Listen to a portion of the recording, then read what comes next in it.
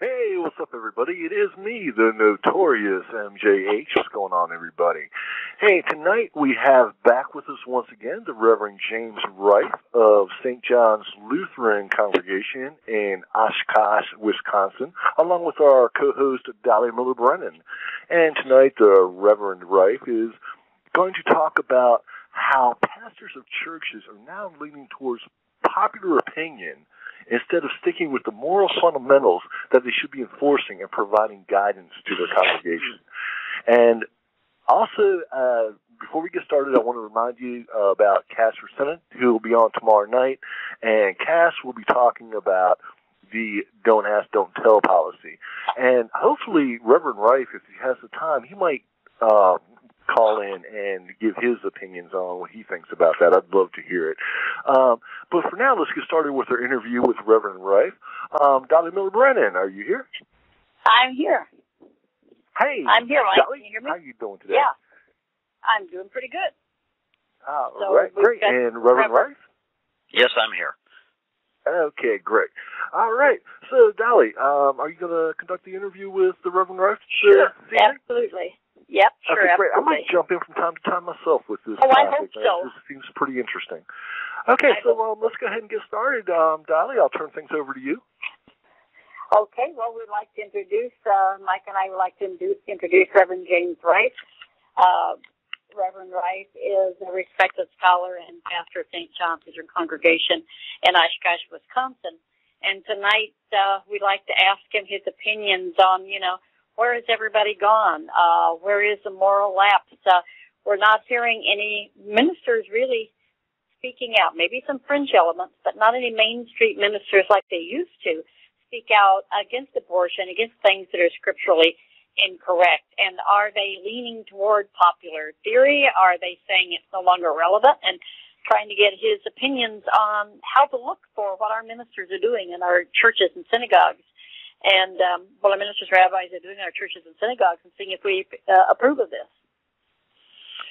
Well, we now are in a great spiritual malaise in our country, and there's no question about that to me. when our country was founded, uh, the majority of the signers of the Declaration of Independence, if I remember it correctly, or excuse me, of the Constitution, were pastors.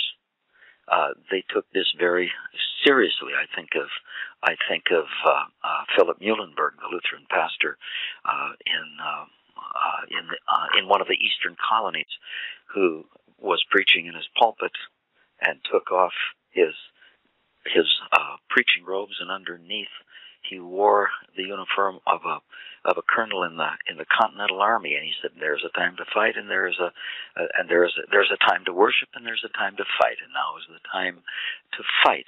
Uh, our people years ago believed in God and believed that that God revealed Himself through the Scriptures, and so our people had courage, which we have lost today. Uh, so, yeah, I do think that uh, a, terrible thing has happened in our country because we seem to have have lost trust in God and trust in the destiny of our nation. Uh, you know, again, uh, Isaiah used to warn the people. He said, "The watchmen are blind; uh, they're all ignorant. They are like dumb dogs, and they can't bark." Uh, Isaiah preached that message, you know, a long, long time ago to the people of Israel, warning them that their pastors, that their clerics weren't weren't preaching to them proper doctrine and we're not warning them about the evils of Baal worship and the evils of of of other forms of, of worship of God.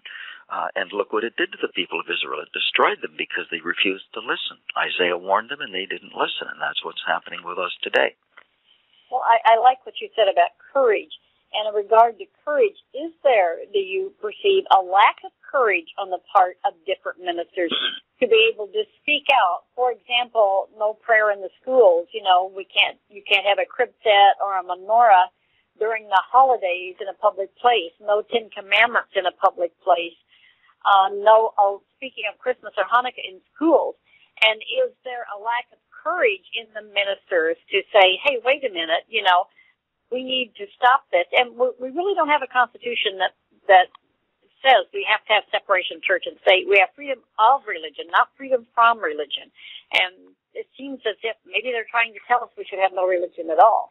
Well, yes, many. Oh, absolutely. Many people today would want to say religion is the fault of all the wars. More wars have been fought over religion than anything else. And I guess to those people who talk so foolishly, I would say, well, what else is there worth fighting for than ultimate human values? you know, uh, yes, indeed, uh, we are living in a, a time when these when these things are starting to happen in our country. Uh, I don't. When you ask, are all pastors becoming uh, are are all pa- pastors becoming chickens? Are they all are they all having a lack of courage? I don't know if it's that as much as many of them are confused. First of all, there are pastors who are gutless. There's no question about it. Uh, those are those are pulpit whores and those are people who who want to make a good buck and and many of them are are are get a good salary and they don't want to rock the boat. And no they're not going to say anything that's going to make their people angry because they want the money train to keep flowing. So you always have some of those.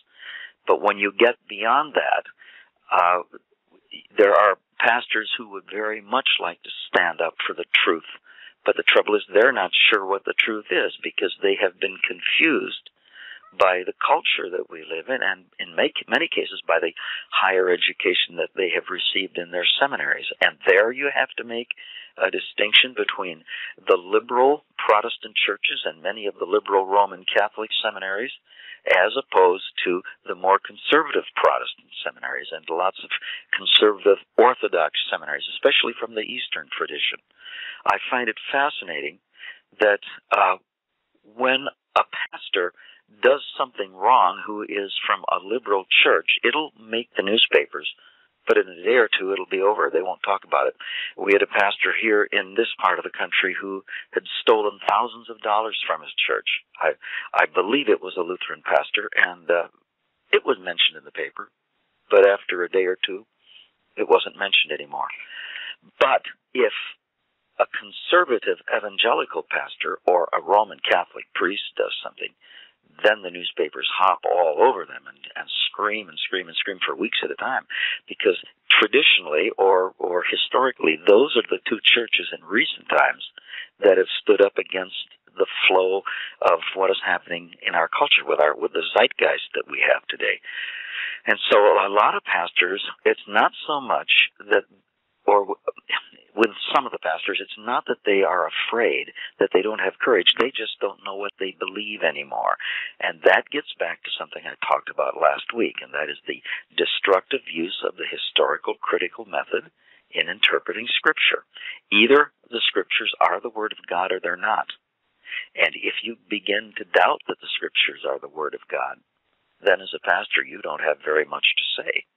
And then, when that happens, you don't have the courage to stand up and speak out against rights and wrongs because the only thing that is right and wrong is what you personally think it is. And that gets back to a deeper question that's going on in our culture. And that is the, the, the cultural war that's taking place about whether that is, there is ultimate truth or whether all truth is relative. So are we saying that some pastors may be feeling that uh, the Bible has lost some of its relevance today? that it no longer is applicable to our society because we're not in the same situation as we were 5,000 years ago. Are some of them trying to say that now? Absolutely.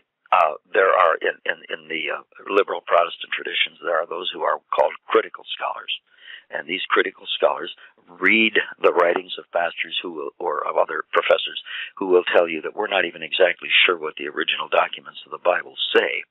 And now, if that happens, well, then how do you know that Jesus said anything?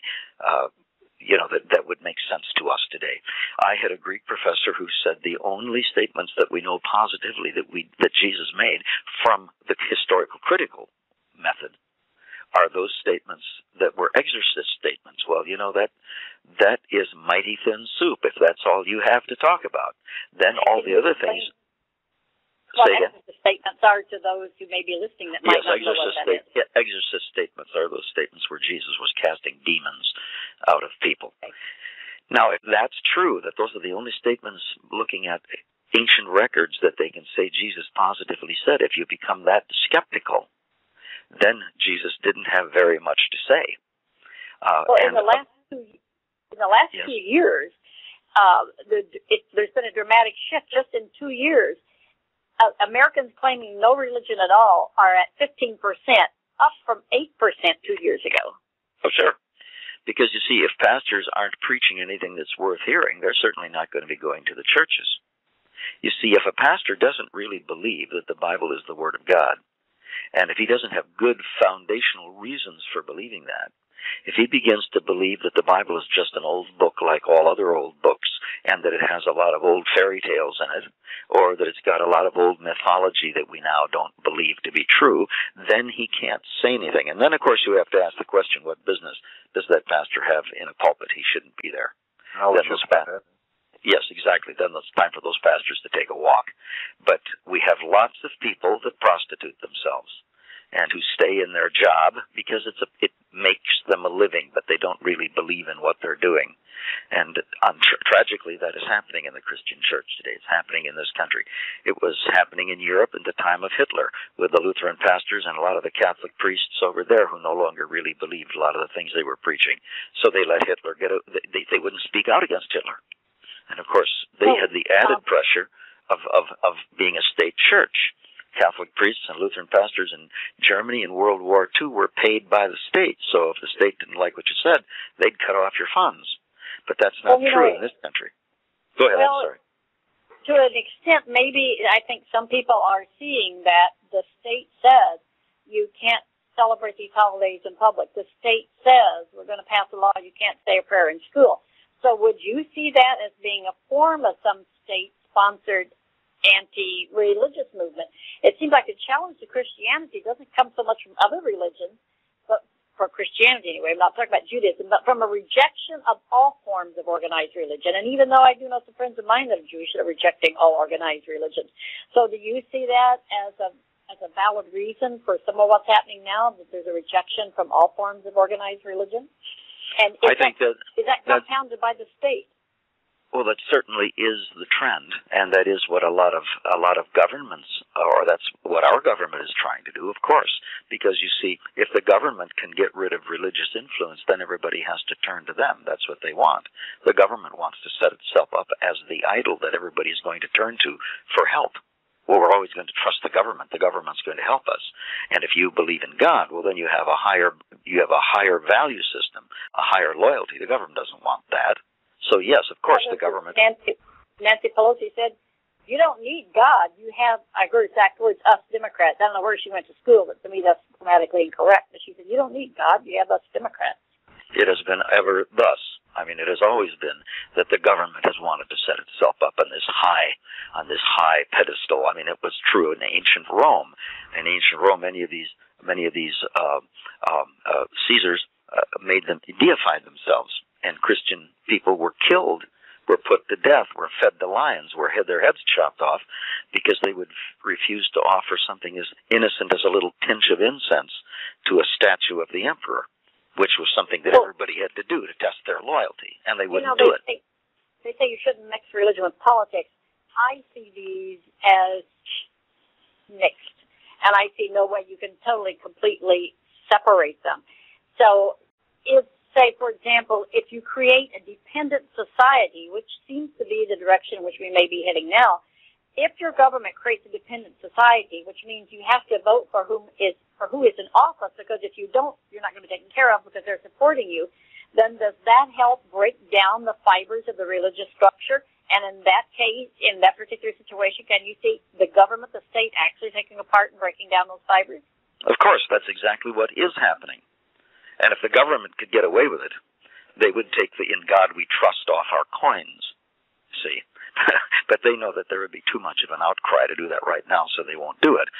And so the government subtly undermines uh, Christianity. And people can say what they want, but the truth is our government was, our nation was founded upon a Judeo-Christian concept of God.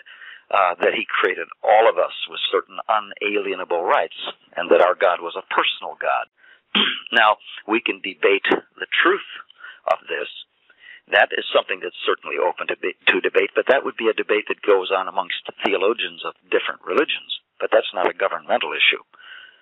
But the government is talking about these things now because, yes, I think they do want to undermine the church. Again, it gets back to wanting to be the apple of the eye of the people. The government wants everyone to turn to them. That's exactly what is happening, Dolly. Of course it is. That's exactly what Obama has been preaching. Exactly. Or, or, yeah, that, that's what he's been saying with this health care bill and everything. He wants everybody to rely on him. And he, uh, I, I could pull up um, audio from what, what he said specifically, but yeah, that's what Obama has been saying ever since um, I've heard of him, which was when he started running for president. I never heard of him before that. I heard about him on a radio show called Mancow, and they started talking about Obama when he was uh, senator, or uh, was he senator or governor of Illinois? Senator, I think. Obama. Obama. He was a he was a he was a congressman Senior from Illinois. Uh, then he became a Was- senator. was Yeah. a congressman? yeah. Oh, no, he was. A, I'm sorry. He was. He, A junior Yeah, senator. he was a junior senator. Yes. He was a junior senator. Yes, he was there two years, and mostly his voting record was not present. Yeah. Yeah. He was the most left-wing senator ever elected, and his voting record is the most left-wing ever elected.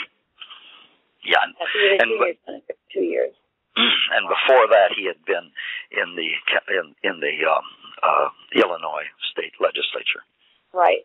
And then came in as a so that's what I've always wondered is how he moved up so quick to just go from. I, I knew his political career was short, um, you know, before he became president, and I, I just wondered how he moved up in the rankings so fast, and that's why I thought there was might be something else behind it, and it, it, it, it still looks like that to me. I just don't know what it is.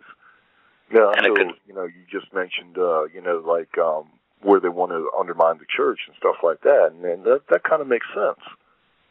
Yes, and I do think that's what has happened. In in the case of Obama himself, uh, many people wanted to vote for him because it's politically correct. I mean, after all, he's a black man, and uh, we want to prove that we're not prejudiced and so forth. Mm. And, uh, and Obama certainly speaks well, but the thing is, he never says anything when he talks. So that, Yeah, Uh, that's true when- too. But what about Colin Powell? He was a black man. yeah, that's right. You know, all the Republicans wanted to run, wanted him to run for president. He wouldn't do it, and That's I, right. I believe the reason was him being a general. Um, he knew what was going on, and he didn't want any part of it. And I really believe, and I, I call him America's granddad. And you know, so I don't, I don't see where the the black thing comes in. But I know a lot of black people did vote for Obama just because they were black and they were supporting their team. Well, there was And an awful lot of that. Awful lot of white people that did the same thing. See, because they wanted to show that they weren't prejudiced. But yes, Adam Clayton or uh, uh, Clayton Powell was was a much smarter man, and uh, did not want to run for office. I, I think partly for the reasons that you said, and I think also partly because he did not want to go through the hassle that a president has to go through with with the public, with with having with living in a glass house. Having been a general was enough for him, and I don't think he wanted to go beyond that. Can you imagine? Uh, in fact, his wife a number of times suggested that you know they might not have a very strong marriage if if he would uh, go to be the president. You know, because of for that very reason, if he would try to do that, uh, and and so he did not want those difficulties, those personal difficulties, and you can't blame him. No, I can't blame him at all. But I wish he would have. I really do. Because I mean, he, he has some excellent, you know, background career Sure, and books sure. and that he's written and, and stuff like that. But I do think I do think that our pastors today in this country, uh, by and large, the vast majority of the of the liberal-minded pastors who come from liberal churches have lost the courage to speak out against the rising rising tide of evil that's that's beginning to take place in our nation. And Uh, how would and- how would a parishioner or a congregant how would they be able to determine, say, you know, I don't think my pastor is speaking out in favor of uh, a favor of the church. Um, how how would how would they be able to determine that? Are there any signs we could look for? Well, the first thing that all people have to look for when they're listening to a pastor preach is does he preach from the Bible? That's the term the lay people use. And that is a very good way, a very good barometer. Because if a pastor is backing up what he says with what the scripture says, and he's not forcing the scripture, and has lots of scripture passages to back that up, then he's going to have a very good argument. Secondly, uh, I mean for what he's saying. Secondly, when a pastor is preaching, his his sermons or his speeches or whatever he's doing had better line up with what the historic church has always said. You see, we are we are the people who have who have received 2,000 years of Christian tradition whether you are a holy roller or whether you're a Roman Catholic, we have 2,000 years of Christian tradition. So we have the Bible, and the Bible is to be interpreted in light of 2,000 years of Christian tradition and 4,000 years of Jewish tradition. So if I uh, take a passage like uh, God is love, or that God, or or that those people who are of God uh, are people who are of love. If I take passages like that and use them in the Bible, and use them from the Bible, and then say, therefore, we should have free love in our country, everybody would go, well, wait a minute, that's not what the Bible says, and then they would realize that I was that I was forcing the scriptures. And so when you interpret the Bible it has to be in line with not only what the scripture says, but with what the tradition has said for all of these years. Otherwise, you get into a situation where where the, the, the pastor is saying tricky things to the people, but they are not they are not based on what has always been said and what has been passed down throughout the history of the 2,000 years of Christianity. For example, again, uh, we certainly would want to say that women should have the rights to to be free people, to be free persons.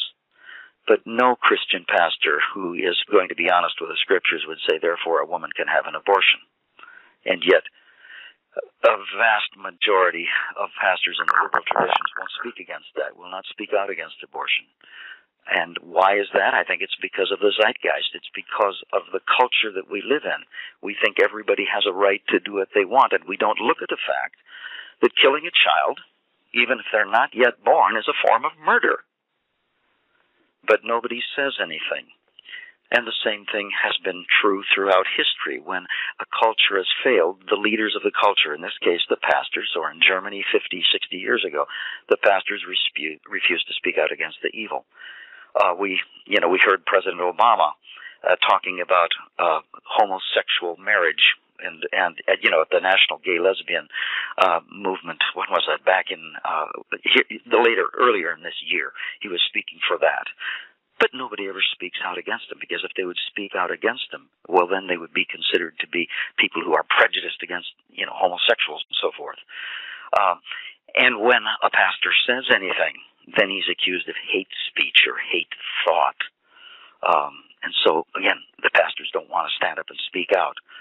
Uh, and so there's yeah, silence. Pat, Pat, Pat Robertson, uh, well, he does speak out. Pat yes, he does. But he gets yes. criticized every time he does it. And he doesn't stop him. yes, but, uh, did you remember I, I mentioned earlier that Roman Catholic priests and evangelical pastors are heavily criticized when they speak out.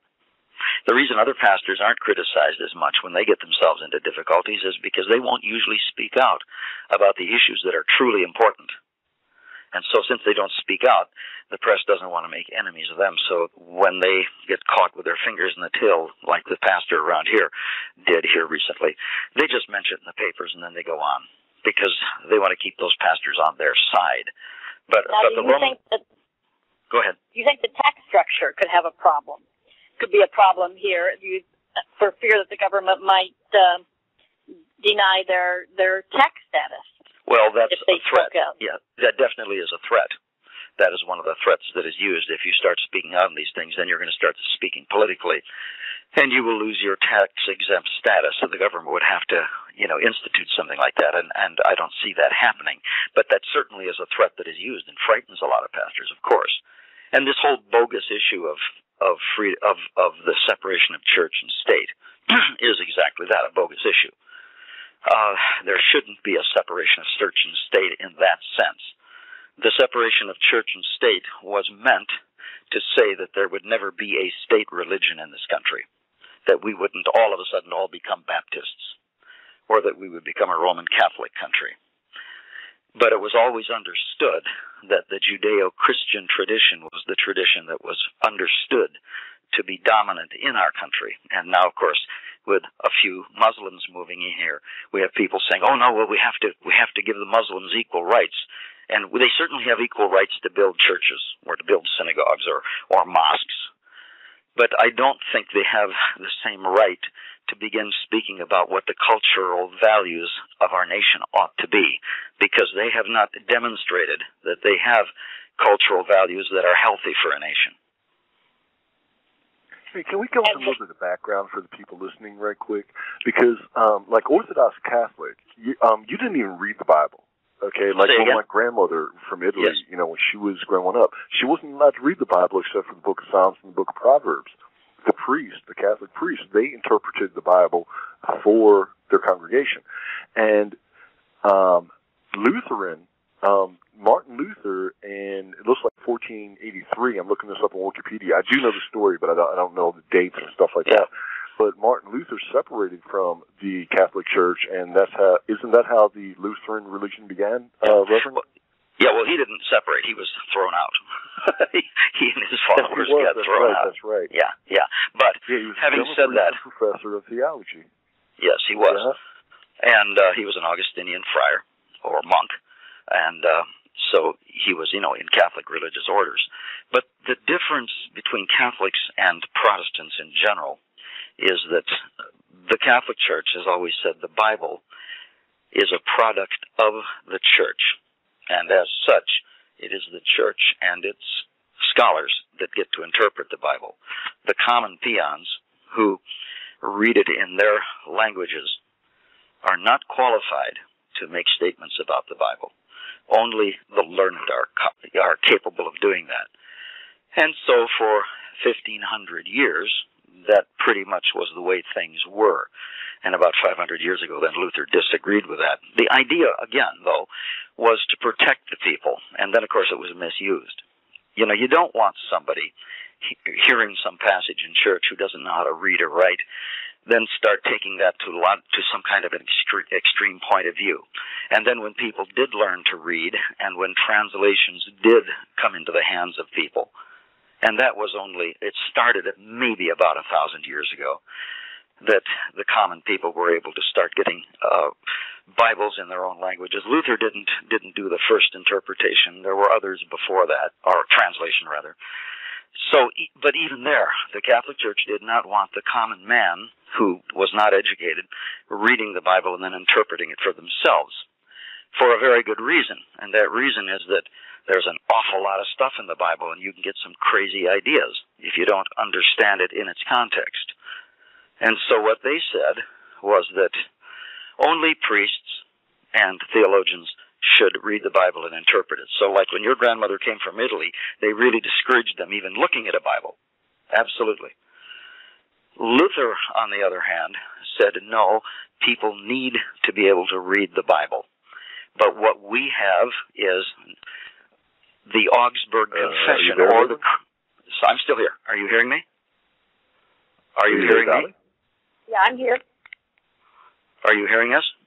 Okay, apparently we're having some diff- uh, technical difficulties here. Are you Are hearing there? me?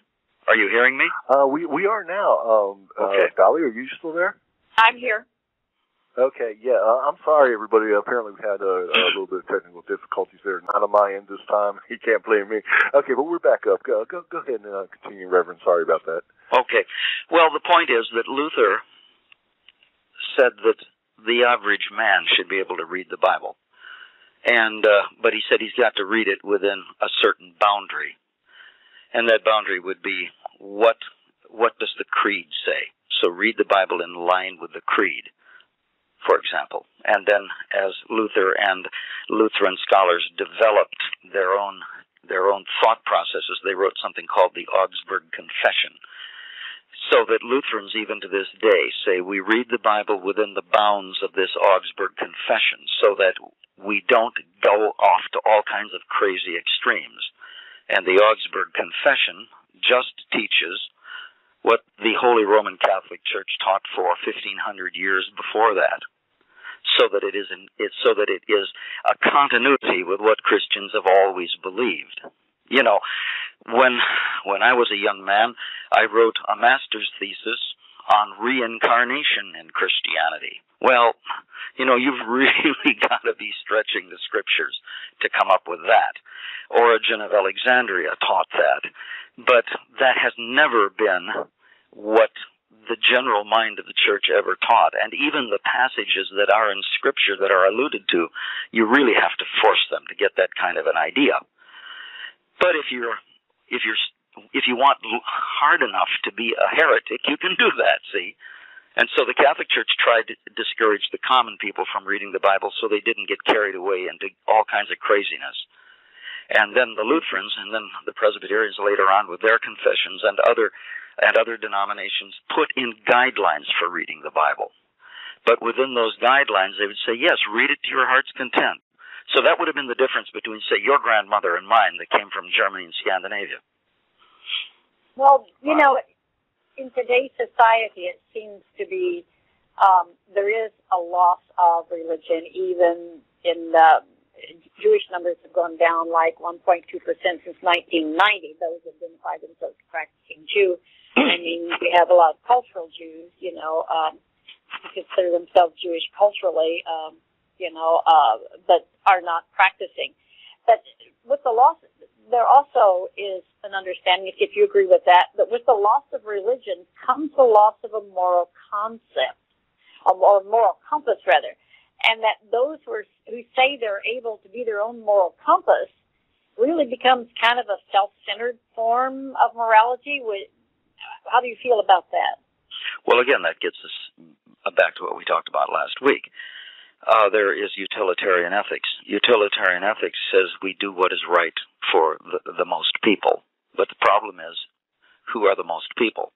The the Germans, or I shouldn't say the Germans, the Nazis in World War II said we have to do what's right for the most people, for the Germans. And so we got rid of we get rid of the Jews and we get rid of um, other people that we think are undesirable. The problem with utilitarian ethics is it is is that it is very personal, and ultimately it comes down to my own my own point of view. I don't like you for whatever you do, so I'll get rid of you. But then you can say, well, if you get rid of me, my brothers are going to come back and get rid of you and all of your relatives, and we get into a feud. And so utilitarian ethics says for the good of society as a whole, we have to have certain rules. But those don't hold up well and that's why you have to have an overarching transcendent rule to keep people in line, uh, to get to keep people believing correctly, so that you have a culture that is teaching uh, good manners, good values, good attitudes toward others, and and we have found that this works best through the scriptures. That people who hold a Christ-centered view of life and of and of their neighbors and of their nation have had much more to give and have been able to live in a much more successful way than those that don't. So the government historically have always felt that it was good to have religion because it does help to keep the people balanced. And of course, the communists would want to say, yes, that's the opiate of the people, so they keep the people in line with religion. So that's looking at it from the negative. But from the pro- from the positive side, religion keeps people uh, grounded with a higher value system so there is more to life than just me satisfying my needs.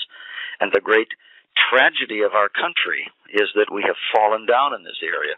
So that, yeah, people are leaving their churches because the average pastor isn't saying anything that, that is worth hearing anymore. And that goes back to a loss of trust in what the writings of the scriptures say. Now, in churches where they haven't taught that, in seminaries where they haven't taught that, those pastors are still strong and they're still holding to the ancient points of view. But in many of the liberal churches today, that has been lost. And so these people end up preaching social justice because it's the only thing that they can really talk about. Because a church has to have a reason for being. And if it's not to bring salvation to the people in its pews, if they don't really believe that anymore, then there has to be something else. And so, uh, uh, modern liberal churches oftentimes now teach social justice, meaning that the reason you're a Christian is so that you can help bring a better life to the poor unfortunates. And then that becomes what your value is. And uh, now the U.S. government is saying, look, we're going to bring these values to the people. We're going to make all of the poor unfortunates equal with everybody else. We're going to give them money. We're going to give them health care. We're going to do all these things. So don't go around believing in your God because believe in the government. The government really will help you. Do you see how insidious this is? For example, now yes. the, our administration is telling us you need a benevolent hmm. overseer, a benevolent supervisor to look out for what Americans eat because Americans don't know how to make healthy food choices. Yes, I do so, wish, by the way, when I when I hear uh, when I hear Michelle Obama talking that way, I think Michelle, before you open your mouth, you ought to drop about thirty pounds. she is a beautiful woman, though. You got to admit. But say again. Yeah. Say again. She is a beautiful woman, though. You have to admit. I think she is a pretty woman. Funny. She. I don't yeah, know about she that. Does have some back my daddy, when you look at her and both Obama in the back end, I hate to be vulgar, but my daddy was an old diehard Texan. You could drive a team and wagon past that butt and never see daylight. Again, I, I see I, I see parallels between what has happened in the past in Germany uh, and what is happening in our country, and I see parallels with what is currently happening in Russia right now, or not in Russia, but in China. Uh, in China, there are millions of Christians who go to house churches. They hide. The government doesn't know about them. They worship quietly in churches or in their houses. When the government finds out, they throw these people in prison. Sometimes they torture them. They've even killed some of them. Uh, there is a magazine out called Voice of the Martyrs uh, which is free. I think it's voiceofthemartyrs.com. I think you can get it. Uh, and it really will open your eyes to the condition of Christians around the world. Uh, it was it was founded by a Lutheran pastor who lived in communist Russia, or in, excuse me, in communist Eastern Europe, back in the 50s, and uh, he was tortured and imprisoned, and terrible things happened to him. When he finally got to this country, back about 1970, he wrote, I think it was 1970, might have been a little earlier. He began editing a magazine or a, a, a yeah, a magazine called Voice of the Martyrs. Uh, I think it's dot com, voiceofthemartyrs.com. And uh, he wanted to call attention to the people of America to the terrible plight of Christians around the world. Something a lot of people don't know is that more Christians have been murdered in the 20th century and the early part of the 21st century than were ever murdered in all the years prior to that time. And in China right now, these 100 million people at least who secretly worship in their homes uh, are castigated by the government, uh, or worse, but they have a state-run government church. It's called the Three Self Church. Now that's of course a maybe a bad translation of the Trinity, you know, three persons. So they call it the three person church and or three self church rather. And that church spouts the party line. Uh, they don't really preach a, a spiritual message at all, but what they do preach is, you know, the government line, what is politically uh, correct. They don't speak out against the things their government is doing, but the government will recognize them. If you go to their church, you're okay. But if you go to these dissenting churches, these house churches, uh, you could be put to death. And I think more and more our country is going to start going this way because the people are speaking out against the church. Because if the church would speak out against something like homosexuality, then, then that's called hate speech. But how can I, as a pastor, homosexuality is against the Bible, and when of course it is. Pat Robertson or anybody else says it, you know they're they're haters, but it, it is against the Bible. But yes, it doesn't it say you're not supposed to welcome gay people into the church. Because, of course, of course you are. You're supposed to welcome anybody into the church. Any so sinner, any sinner, any sinner. Yes. Exactly. Yes, sir. Yes, we welcome welcome. it. No, we welcome any and all sinners. So if a, if an adulterer comes into my church, I welcome him. Now, as I but find you out don't that condone he's, adultery. that's you don't say yes, correct. it's okay to do that because you know uh, we're in liberal times here. That's right. So I love the sinner and hate the sin. This is what Jesus tells us to do. Sir. Yeah, so that's that's the issue. But you see people oversimplify it because they want to destroy the church. They want to take away the influence of the church. So if I stand up and speak out against uh, homosexuality, like that poor black woman, was it in Philadelphia, who carried a sign at a black pride parade, uh, homosexuality is a sin, and she was thrown in jail. Uh, ended up in, in, yeah, she ended up in real serious trouble. This was a few months ago. Well, maybe six months ago and she ended up she was a poor woman ended up paying a lot for an attorney she almost went to jail or almost went to prison but you see if you speak out then these people say that you are practicing hate speech and this is the same thing that was going on in Nazi Germany. One of my friends, who was a war bride, who came to this country after the war and grew up during World War II, said that in her confirmation class there were 42 kids in her parish. But she said by the time the actual confirmation took place, there were only eight. Because the rest had all backed out of confirmation because it wasn't politically correct. And she said, in school, we were taught the Nazi creed, we were taught the Nazi values, and if anybody stood up and said, wait a minute, those go against what I have been taught in confirmation, then you were shunned, you were looked down upon you know, you were called not progressive, you were anti-government, anti-Nazi, and all of that kind of stuff. And I see that happening in our country today. Are you still there? Uh, yeah, yeah, we're still here.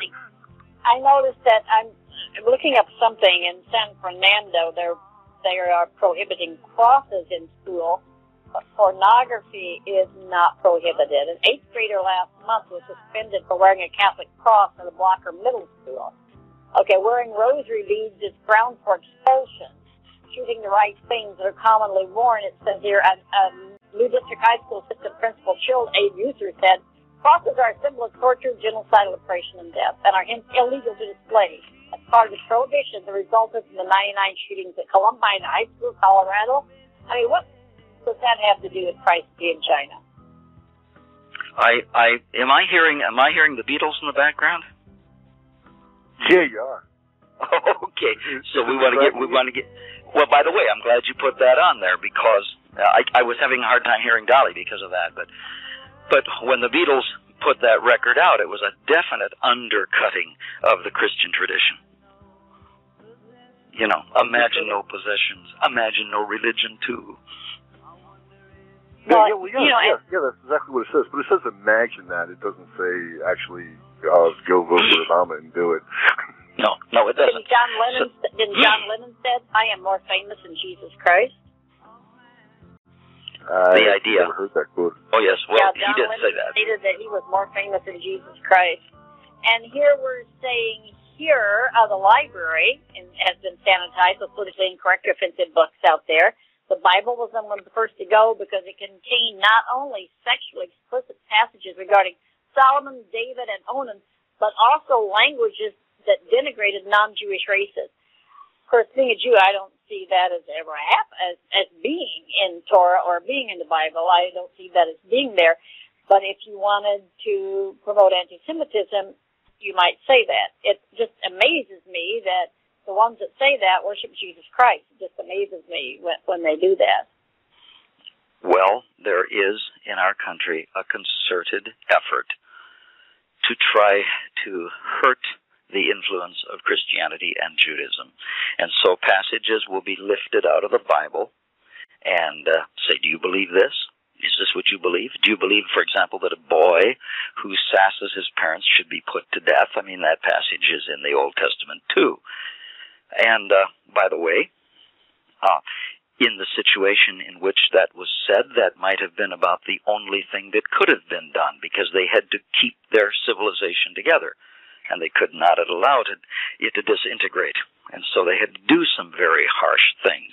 But passages like this are taken out of context to discredit us. But the general theme of the scriptures that God created us and that God has a place in life for every one of us and that we can be forgiven for our sins through the atoning blood of Jesus Christ, those are timeless messages that should not ever be forgotten. And that is what gives us the freedoms that we have today. The greatest civilizing influence in the history of the world has been the Christian church. But that is oh. sadly being forgotten today. Well, you know, this goes back to me to being a dependent society and defining a state religion as in the food. In California, there Arnold Schwarzenegger has decreed no soda pops allowed on school grounds. But they do dispense high protein drinks with a small amount of alcohol in them and, you know, those anabolic steroids, you know, that, that Arnold Schwarzenegger used. Now, uh, and the Obama, this is the, called the Obama Fair Nutrition, which is determined that is the, the harmful foods as defined by Michelle Obama. The only foods that may be consumed on school campuses are water tofu, alfalfa sprouts, and long grass, ocean fish, pollock, and whitening. But no animal products are permitted in the San Fernando school system because of Michelle Obama. Now, excuse me, this is the woman that yes. she got that butt. Spent thousands and thousands of dollars on a Spanish hotel room that gorged herself on caviar and expensive foods and fed it to the taxpayers. But she's saying that the citizens have to eat tofu while she eats caviar. I mean, let them eat cake. You know, I mean, we're right back to that concept. Let them eat cake. I can eat we, caviar. Y'all eat tofu. We really have That's to ask. She got that butt. I think we really need to ask the question what business the government has tell, telling us that we can't eat cake or that we can't drink soda or things like this. I mean, where is it that the government has gotten themselves involved in such minutia? Our government can't even protect its borders and doesn't even want to protect its borders. And now we're going to tell them, now they're going to get involved and spend money telling kids they can't drink soda pop from, from, uh, pop dispensers in, in some school. This is insane. Uh, but yes, this is, that, but, um, yeah, and, and this is, this is what's happening to us. I find parents it, I object find, to these rules in school will not have the option of homeschooling due to a recent court ruling. If you don't agree to the rules, you cannot homeschool your child. No Christmas cards or Valentine cards are permitted in California. Halloween costumes are not permitted. No holiday celebrations with any religious overtones are allowed, with two exceptions. No nativity scenes may be placed on school grounds. Menorahs are permitted during Hanukkah, and the Islamic star is allowed during Ramadan all children. Uh, this is Cal. This is. This uh, is, Dolly. It's a little nuts. Uh, Reverend Reiff. Yes. Yeah, yes. we're having technical difficulties tonight. Um, crap. I'm not even sure if people can hear me right now. We hear you. Okay, we're back up. We're back up. Yeah. All right, we're back, back on up. now. Yeah, um, apparently it's um, the um, web server, the Blog Talk Radio web server. Um, uh, uh, we we don't have much time here, so go ahead and continue, um, Dolly and Reverend. I guess I just wanted to say that it's interesting, isn't it, that whenever, whenever we start talking about really serious things, interestingly, uh, we always run into technical difficulties. I've noticed this before. Other people have talked about that. I think it's fascinating that um, it's you. it's not your fault. yes, I think it's fascinating that that we have a country that is morally bankrupt, morally morally deficient today. People are asking honestly asking for right and wrong. They want to know about truth, and yet uh, the pastors aren't giving it to them. And where they are finding truth is with Glenn Buck, Beck and with Sarah Palin. And Listen these are these people are bringing our Christian people together into some kind of a mass of people who want to do some, something. But the pastors aren't speaking out.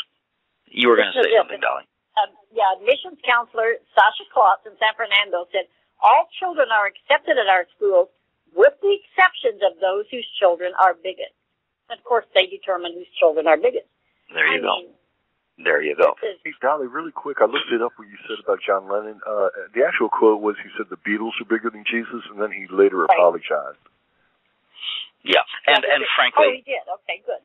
Well, it's good to hear that because frankly, John Lennon was just being uh, arrogant when he said that, and then, and I don't think that made him a bad person. And in some ways, he probably was more more more popular than Jesus Christ. You know, uh, well, I, Jesus. I say, I'm I'm a Southern girl, and I like the blues and jazz and Johnny Cash, and I just never got into the Beatles.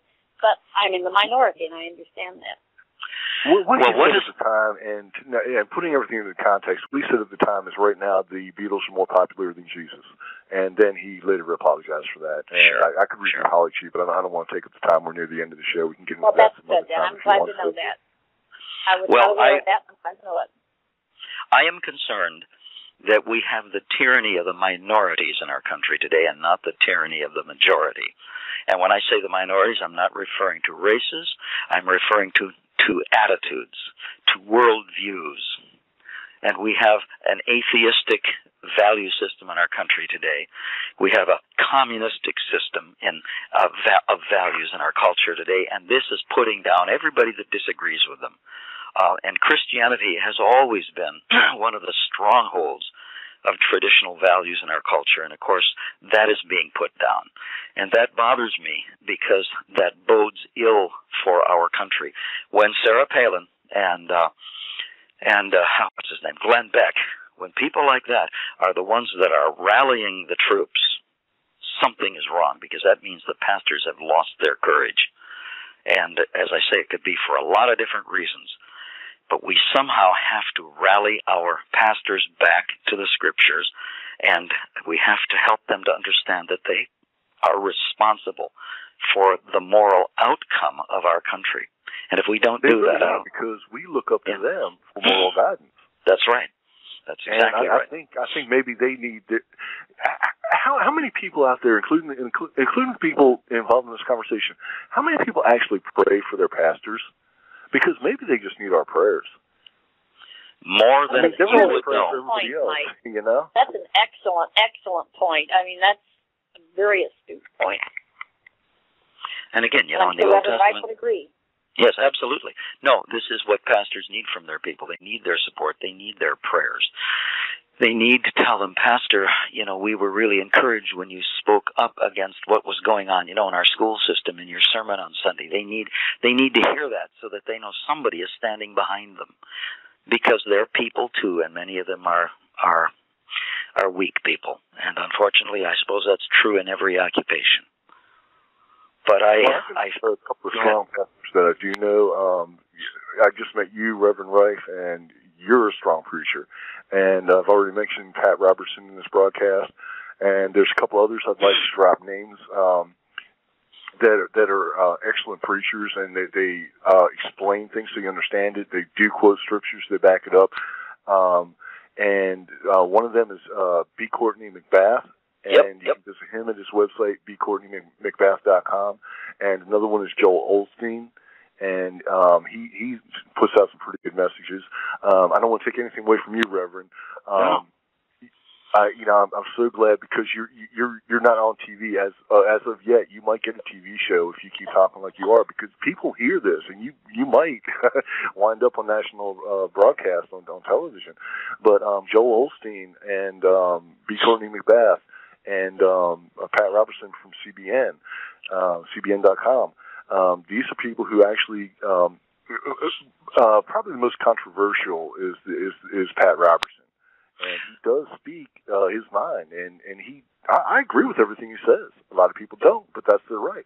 But whether I didn't agree, even if I didn't agree with Pat Robertson, he's got the right to say it. absolutely. And, um, yeah, absolutely. Um, we got two minutes left, so I'm going to let you. Um, fin- I just wanted- what you got to say. I wanted to say about Pat Robertson. Um, you seldom hear anybody who is more maligned than he is.